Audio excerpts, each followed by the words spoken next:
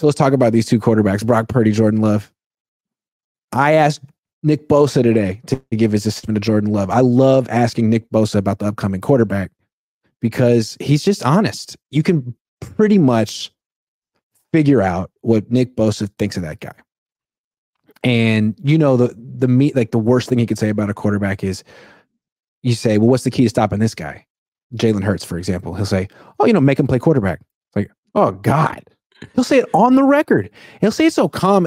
Usually you think that's the kind of thing that the other team would put on their bulletin board if they had such a thing. But anyway, I asked him about Jordan Love and he said, you know, he goes through his reads really well. He, he, he runs that system to a T. But uh, we really got to take away the run game. Got to take away oh, those boy. those quick, easy throws. Got to make them uncomfortable. I don't. I don't really. I, I haven't really seen anyone make them uncomfortable. We're gonna make them uncomfortable. Which you know what that means. He's a system quarterback. That's what Nick Bosa says. He's a system quarterback. He's not bad.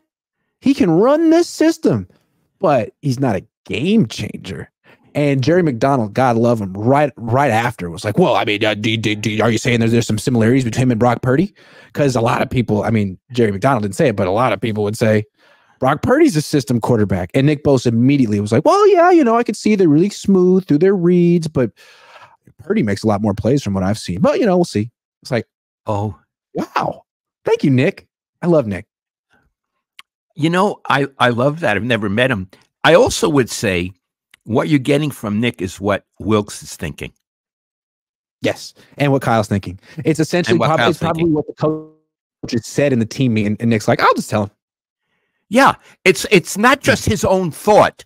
He's no. relaying what the Niners think of that quarterback. Yes, that's yeah. what you're getting. Yeah. Oh, Nick, I love you. He's I love you. That's why Nick. he won this award, the Garry Niver Award. He just lets it go. Kyle does to a degree as well.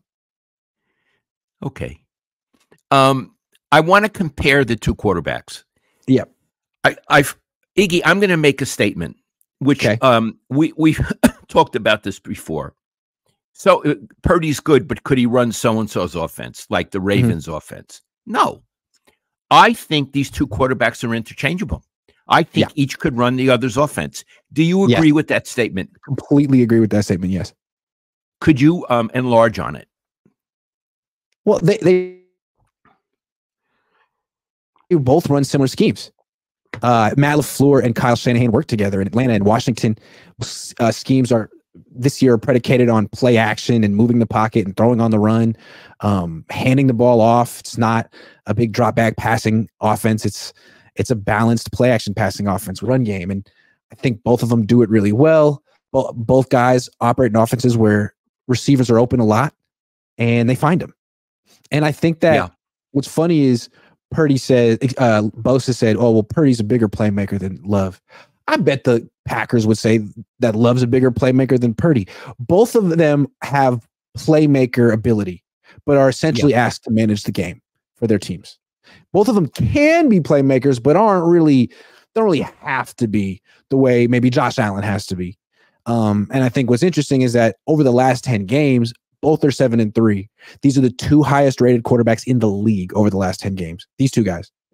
But Love has been extremely careful. He's one pick.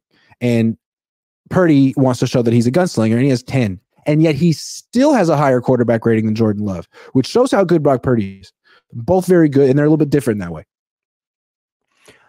I love it. I love what you're saying.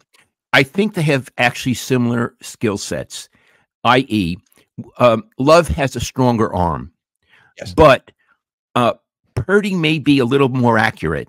He's yes. really accurate. He puts the ball between the numbers. He's wonderful that way, and he may read before the snap. May read the defense a little better than Love.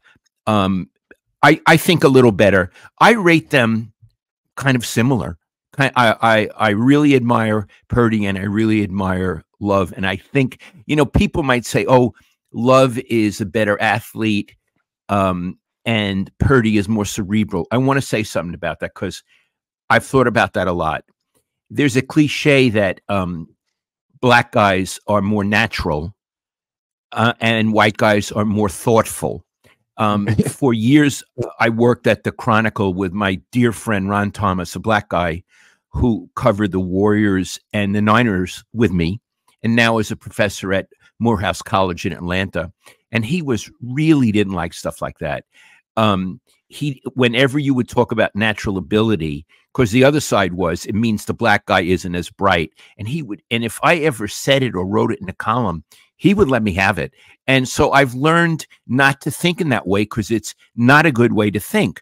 So I think that people might assume that Jordan Love is a better athlete, um, maybe even quicker than Brock Purdy. I'm not so sure of that. On the other hand, they might think Brock Purdy is more cerebral. I'm not so sure of that. This Jordan Love strikes me as really sharp. So I, I consider them in terms of brains on the field and in terms of athletic ability very equal.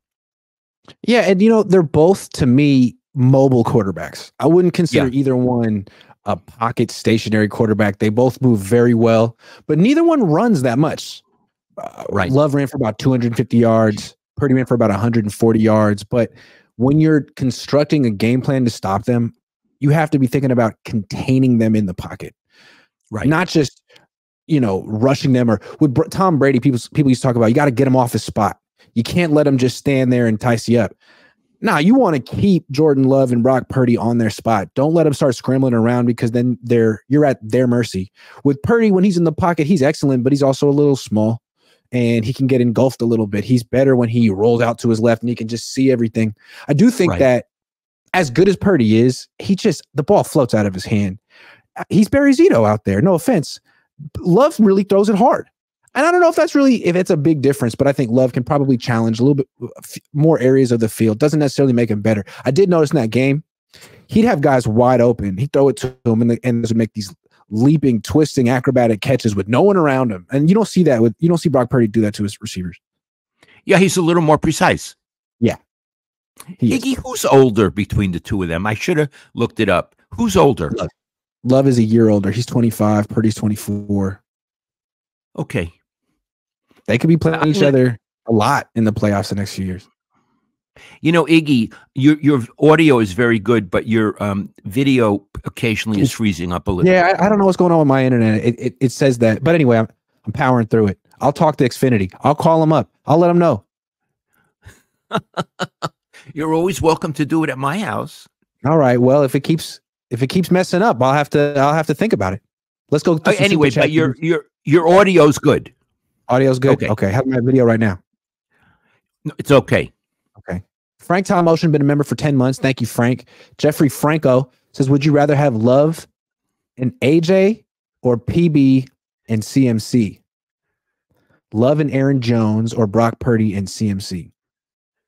Brock Purdy and hmm. CMC. Can't go wrong. Sure, I'll go with them too. But Love and Aaron Jones are excellent as well.